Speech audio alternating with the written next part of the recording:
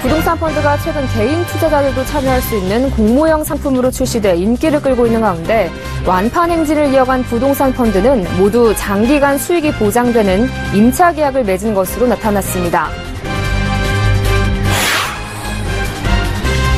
기아차가 6년 만에 새 옷으로 갈아입은 all new 모닝을 출시했습니다. 연비와 공간, 안전성 3박자를 두루 갖춘 모닝을 앞세워 스파크에 빼앗긴 경차 1위 자존심을 되찾겠다는 전략입니다.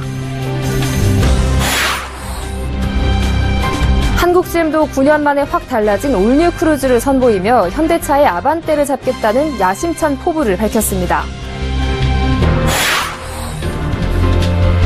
우리은행이 국내 최초로 법인과 장애인의 비대면 계좌 개설 서비스를 선보였습니다. 앞으로 지점을 방문하기 어려운 바쁜 창업자와 시각장애인도 스마트폰으로 편리하게 계좌를 만들 수 있습니다.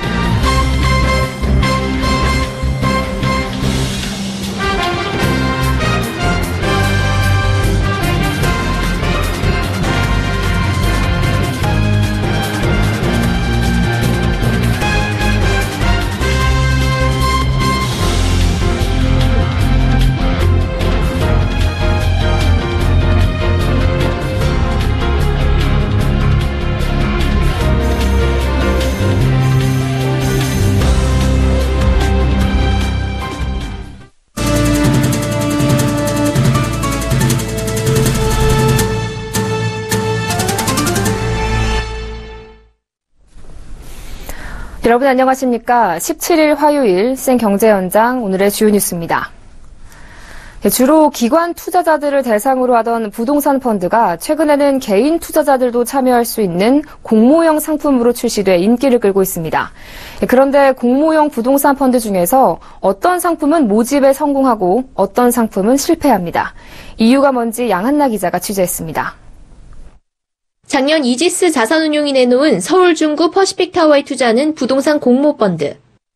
부동산 전문 자산운용사가 도심 대형 오피스에 투자하는 상품으로 시장에 관심이 컸지만 최종 모집에 실패했습니다. 미래에셋 자산운용이 작년 출시한 미국 댈러스 오피스에 투자하는 부동산 공모펀드는 열흘 만에 모집 총액 3천억 원이 몰리며 판매에 성공했습니다. 댈러스 오피스 펀드의 모집 규모가 훨씬 더 컸음에도 불구하고 완판된 것은 장기간 수익이 보장되고 대기업의 책임 임차가 있었기 때문입니다. 퍼시픽 타워 펀드가 장기간 책임 임차가 없었던 것과 대조됩니다. 작년 하나 자산운용이 출시한 명동 티마크 그랜드 호텔에 투자하는 공모펀드 역시 판매 1시간 만에 개인 투자자들에게 완판됐습니다. 모집 규모는 600억 원으로 하나투어의 자회사 마크호텔이 20년 장기 책임 임대차 계약을 체결해 연간 평균 배당률 5.5%를 보장했습니다.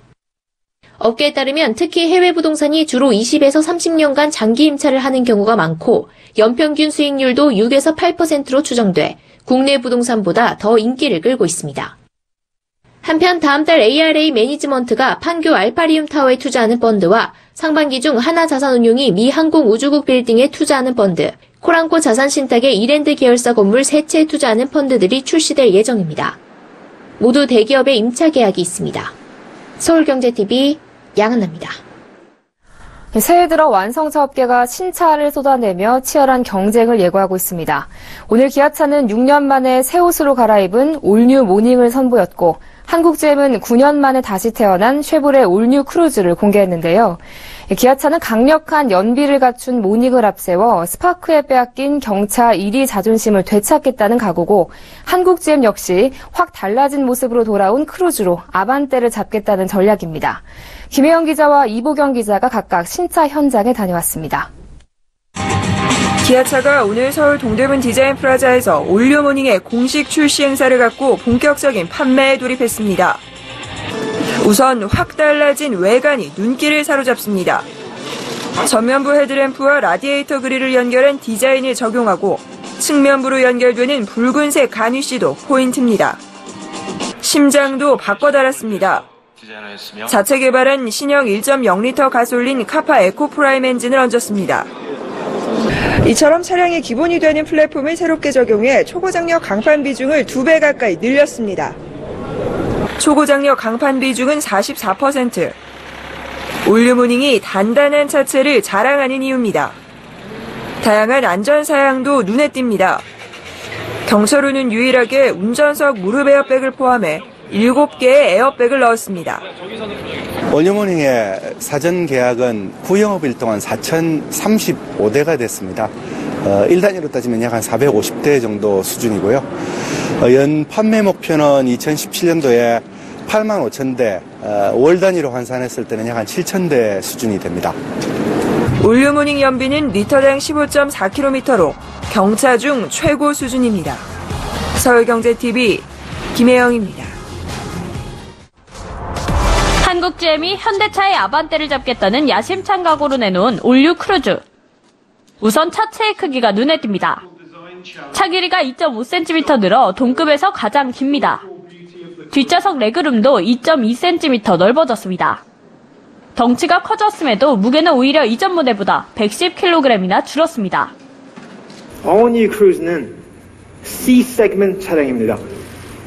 하지만 performance, design, safety, technology에서 D 세그먼트 이상의 value를 전달하기 위해 심장도 바꿔 달았습니다. 신형 1.4리터 가솔린 직분사 터보 엔진은 153마력의 최대 출력을 뽑아냅니다. 여기에 3세대 6단 자동 변속기가 주행 성능을 향상시켰습니다. 안전에도 공을 들였습니다. 차체 97%의 초고장력 강판을 넣어 차체 강성을 27% 높인 것입니다. 또 동급 최초로 차선 이탈 경고와 차선 유지 보조 시스템을 적용해 졸음 운전 등 운전자 부주의로 인한 차선 이탈 사고를 예방했습니다. 한국GM은 차량 가격이 동급 모델보다 400만 원 가량 비싸지만 전장이 길어지고 첨단 기술을 적용해 준중형 세단 이상의 가치를 제공한다고 설명했습니다. 차급을 뛰어넘는 크기와 최신 가솔린 터보 엔진으로 9년 만에 다시 태어난 올 뉴 크루즈가 K3와 아반떼가 양분하고 있는 준중형 세단 시장에 판도를 뒤흔들 수 있을지 주목됩니다. 서울경제TV 이보경입니다. 앞으로 법인과 장애인도 비대면 실명 인증을 통해 계좌를 만들 수 있습니다. 우리은행이 오늘 비대면 실명 인증 서비스 시행 1주년 행사를 열고 국내 최초 법인 장애인 비대면 계좌 개설 서비스를 선보였는데요. 지점을 방문하기 어려운 바쁜 창업자와 시각장애인이 보다 편리하게 계좌 개설을 비롯한 금융 서비스를 이용할 수 있게 됐습니다. 김성훈 기자가 보도합니다. 사업자 등록번호 등을 입력해 법인 검증 과정을 거치고 상담원과 영상통화를 통해 법인명과 본인 이름 확인을 마치자 그 자리에서 법인 계좌가 만들어집니다. 우리은행이 국내 최초로 출시한 비대면 법인 계좌 개설 서비스입니다. 우리은행은 오늘 오후 비대면 실명인증 서비스 시행 1주년 행사를 열고 비대면 실명인증 기술을 응용해 법인과 시각장애인의 비대면 계좌 개설 서비스를 출시한다고 밝혔습니다. 이를 통해 앞으로 바쁜 업무와 일정으로 은행 지점 방문이 어려운 소규모 1인 창업자들도 빠르고 편리하게 법인 계좌를 만들 길이 열렸습니다. 시각장애인 비대면 계좌 개설 방법도 영상을 통해 공개했습니다. 우리은행의 모바일 뱅킹 앱인 위비뱅크를 통해 일반 비대면 계좌 개설과 동일하게 진행되지만 모든 과정과 키패드에 음성이 지원돼 시각장애인도 큰 불편 없이 계좌를 개설할 수 있도록 했습니다. 이 자리에 참석한 임종용 금융위원장은 지난 2015년 12월 비대면 실명인증 서비스 시행 발표 때 신한은행에서 비대면 계좌 개설을 한 이후 1년 만에 두 번째로 우리은행 비대면 계좌 개설을 시연했습니다. 어, 앞으로도 정부는 국민 여러분들께 보다 나은 서비스를 제공하기 위한 금융개혁을 흔들림 없이 그리고 일관되게 추진해 나갈 것입니다. 비대면 계좌 개설 서비스는 출시 이후 시중은행뿐만 아니라 지방은행과 제2금융권까지 확대돼 현재 37개 금융사에서 서비스가 가능하며 지금까지 73만여 계좌가 비대면으로 개설됐습니다. 법인 장애인 계좌 개설까지 확대된 비대면 실명인증 서비스가 앞으로 또 어떤 서비스로 응용될지 업계와 고객들의 관심이 집중되고 있습니다. 서울경제TV 김성훈입니다. 지난해 부동산 증여 건수가 27만 건으로 정부 조사가 시작된 2006년 이후 최대치를 기록했는데요. 이처럼 부동산 증여가 늘어난 이유는 상속세를 줄이기 위한 것으로 풀이됩니다.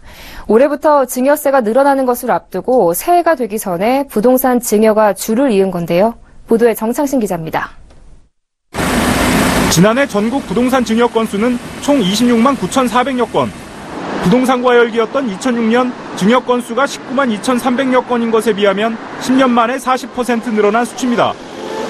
특히 지난해 주택과 토지, 상가 등 전체 부동산 거래 건수는 2015년 2.9% 감소했지만 증여 건수는 지난 2015년보다 7.2% 증가했습니다. 이처럼 증여가 늘어난 이유는 세법 개정이 올해부터 돼 증여 상속세의 신고세액 공제율이 10%에서 7%로 줄었기 때문입니다. 3%가 큰 차이가 아니라고 생각할 수 있지만 10억 원을 증여할 경우 지난해보다 올해 증여세를 3천만 원 더 내야 하는 것입니다. 지난해 부동산 증여 중 가장 많은 건 토지였습니다.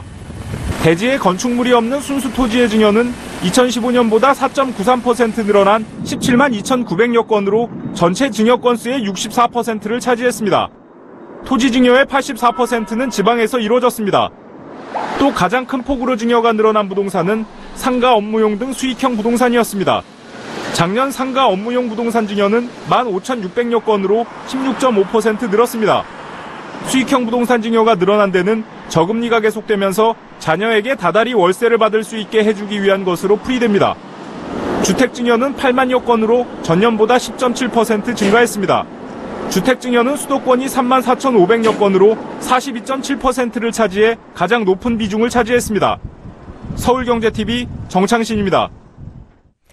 IBK 기업은행은 오늘 김도진 행장 취임 이후 첫 조직 개편을 단행했습니다. 김 행장은 취임 일성으로 효율성을 높일 수 있는 실질 중심 조직 문화를 강조한 바 있는데요. 이번 조직 개편은 본부 조직을 슬림화하고 시너지 강화를 통한 비이자 수익 증대 등 효율성을 높이는 데 초점이 맞춰졌습니다. 보도에 정은규 기자입니다. 기업은행이 새로운 행장의 의지가 반영된 조직 개편을 단행하며 본격적인 김도진호의 닻을 올렸습니다. 기업은행은 이번 조직 개편에서 각 그룹의 명칭을 변경해 임무와 정체성을 새롭게 정립하고 불필요한 기능은 조정하거나 정리했습니다. 김 행장이 지난해 말 취임식에서 밝힌 대로 기존 틀을 깨고 효율성을 높이는 데 방점을 둔 겁니다. 인재는 시대에 맞게 제대로 양성되고 있는지, 사업은 꼭 필요한 부분에 집중되고 있는지 꼼꼼하게 살펴봐야 합니다. 가장 눈에 띄는 것은 마케팅 그룹을 디지털 사업을 위한 미래 채널 그룹으로 탈바꿈한 겁니다. 미래 채널 그룹은 앞으로 은행의 신성장 동력을 발굴하고 사업화하는 업무를 담당합니다.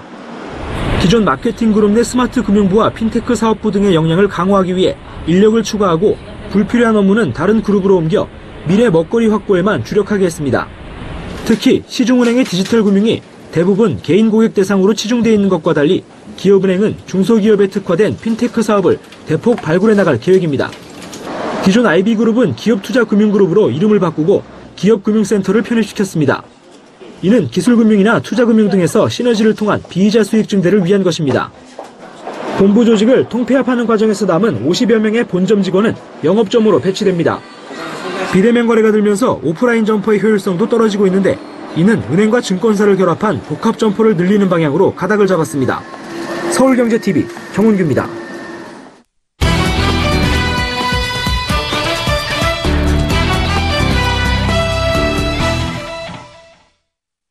네, 금융위원회가 오늘까지 다섯 번에 걸쳐 올해 업무 계획을 발표했습니다. 압축해보면 크게 금융시장 위험 요인 대응, 민생 안정을 위한 금융지원 확대, 경제 활력 제고를 위한 금융의 역할 강화 등인데요. 금융증권부 이현우 기자와 좀 더 자세한 내용 알아보겠습니다. 안녕하십니까? 안녕하십니까? 네, 우선 오늘 발표한 이 자본시장 개혁 추진 과제 내용을 좀 보죠. 자, 금융당국이 투자자 보호를 위해서 긴급 규제가 필요할 때 자본시장법상의 조치 명령권을 적극적으로 활용하기로 했다면서요? 네, 그렇습니다. 정부는 투자자 보호 와 아, 시장 건전성 유지를 위해서 아, 긴급히 공적 규제를 할 필요가 있는 경우에 아, 조치 명령권을 적극 활용할 방침입니다. 이를 위해 상반기 중에 조치 명령권 행사의 세부 기준과 절차 등에 관한 규정을 신설합니다. 지금까지는 행정 지도나 업계 자율 규제에 의존해 이행하지 않아도 별다른 제재가 없어 한계가 있다는 지적이 있었습니다. 조치 명령권은 고위험 금융투자 상품 판매와 영업 활동을 제한할 때 활용할 것으로 보입니다. 금융위는 기업 경영의 투명성을 높이기 위해 회계 정보 신뢰성을 높이는 방안도 마련 중입니다. 감사인 선임부터 감독 제재에 이르는 외부 감사와 전 과장을 포함해 어, 종합 대책을 이달 중 발표할 계획입니다.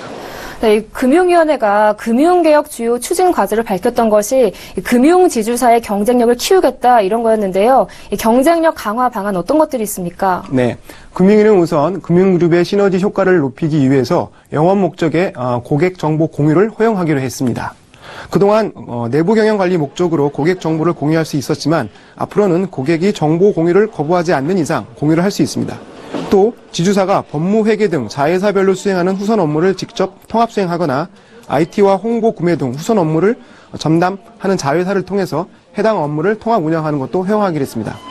지주사가 자회사를 통제하는 데 힘을 실어주는 방향으로 지배 구조와 운영 방식도 개선하기로 했습니다. 앞으로 지주사는 자회사 경영을 관리하는 전략적 의사결정 기구와 그룹 차원의 위험 관리를 협의하고 의결하는 기구를 의무적으로 설치해야 합니다. 네, 금융위가 이 가계부채 관리 방안으로는요, 앞으로 뭐 치킨집이나 카페를, 카페가 밀집한 지역에 또 동일한 업종을 창업할 경우 은행 대출 금리를 높이거나 아예 대출을 받지 못하도록 하는 방침을 추진한다고 했죠. 네, 그렇습니다. 아, 현재 은행들은 아, 자영업자 대출을 시행할 경우에 연체의 이력이나 연매출 등만을 확인하고 아, 대출 금리와 한도를 결정하고 있는데요. 이러다 보니 창업하려는 업종의 아, 과당 경쟁 여부와 관계없이 대출을 받아 개업한 후에 이들 지역에서 출혈 경쟁을 펼쳐서 문을 닫는 곳이 빌비재했습니다. 결국 창업하느라 빚만 떠안은 채 아, 폐업하는 자영업자들이 많아지기 때문에 이를 차단하겠다는 것입니다. 중기청도 과당 경쟁이 우려되는 지역 업종에 뛰어드는 자영업자에 대해서 정책 자금 지원 대상에서 배제하거나 가산 금리를 적용할 계획입니다. 동시에 정부는 창업 정보와 준비 기간이 부족한 생계형 자영업자에 대해 컨설팅을 확대하기로 했습니다. 이를 위해 현재 수도권에서만 시행되는 아, 서민금융진흥원의 자영업자 대상 사업 컨설팅을 올해 4월부터 아, 적극적으로, 전국적으로 확대할 방침입니다. 네, 또이 금융 취약계층을 위한 지원 방안도 발표했죠. 네, 그렇습니다. 정부는 아, 현행 신용 등급제를 폐지하고 미국처럼 점수를 매겨서 개인 신용을 평가하는 방안을 추진하기로 했습니다. 현재는 같은 등급에서 점수 차이가 나는데도 금융회사들이 신용 등급에 과도하게 의존해 획일적 대출 금리를 적용하고 대부업체나 저축은행에서 대출을 받았다는 사실만으로 신용 등급이 곧바로 떨어지는 문제가 있었습니다.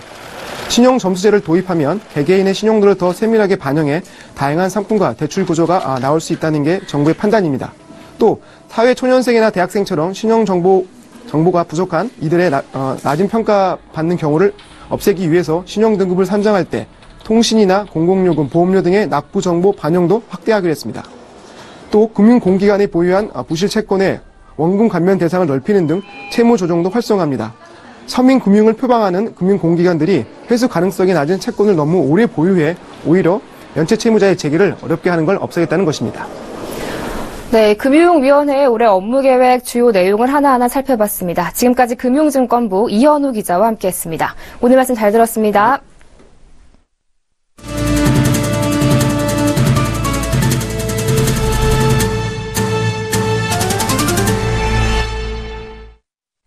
세계 최초 인공지능 음성 비서를 탑재한 TV 셋톱박스 기가 지니가 첫 선을 보였습니다. KT는 오늘 서울 광화문 KT 스퀘어에서 기자간담회를 열고 인공지능 TV 기가 지니를 세계 최초로 출시했습니다. 기가 지니는 IPTV에 스피커와 전화, 카메라를 결합한 인공지능 기기입니다. 유무선 네트워크를 바탕으로 TV와 음악 감상, 일정 관리, 교통 안내, 사물 인터넷 기기 제어 등 음성 비서 기능을 제공합니다. 기존 인공지능 스피커가 귀로 듣는 서비스에 집중했다면 기가 지니는 TV와 내장 카메라와 연동해 눈으로 보고 귀로 듣는 서비스를 제공합니다. 청탁금지법 발효 뒤 처음 맞는 명절인 올해 설을 앞두고 백화점들의 설 선물 세트 판매 실적이 크게 부진한 것으로 나타났습니다. 지난 9일부터 15일까지 현대백화점의 설 선물 세트 판매 실적은 지난해 같은 기간보다 10.1% 감소했습니다. 특히 5만 원 이하 선물 세트가 거의 없는 소고기 등 정육이 12.3%큰 폭으로 줄었고 굴비 등 고가 세트가 많은 수산 부문도 마이너스 11.1%를 기록했습니다.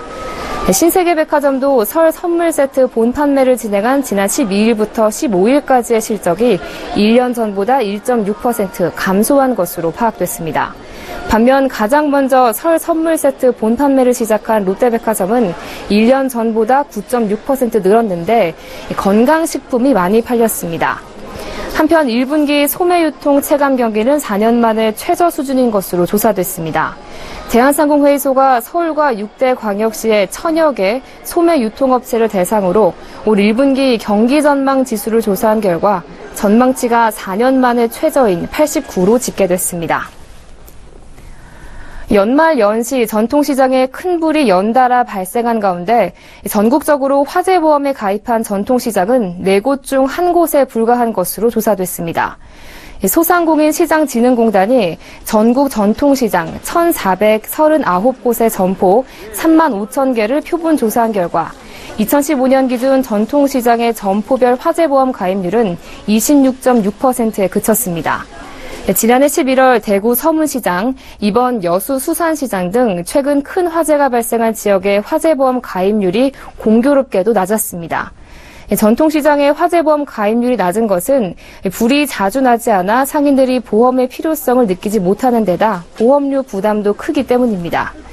보험사 입장에서는 노후 건물이 많아 큰 화재로 번질 가능성이 큰 재래시장에 대해 보험 인수를 꺼리는 실정입니다.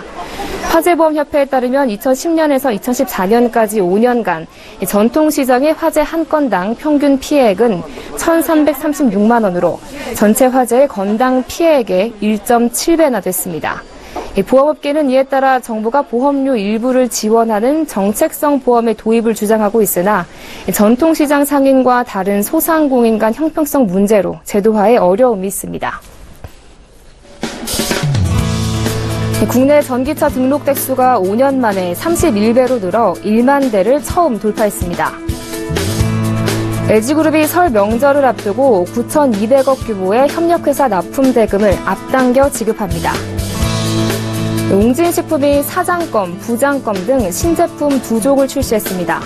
사장껌과 부장껌은 종일 경무에 시달리는 직장인을 겨냥해 만든 껌으로 소비자들이 제품을 씹으며 답답한 기분을 전환할 수 있도록 했다고 웅진식품은 설명했습니다. 부가가치세 면세 사업자는 다음 달 10일까지 지난해 수입 금액, 사업장 기본 사항을 홈택스에서 전자신고하거나 세무서에 서면 신고해야 합니다.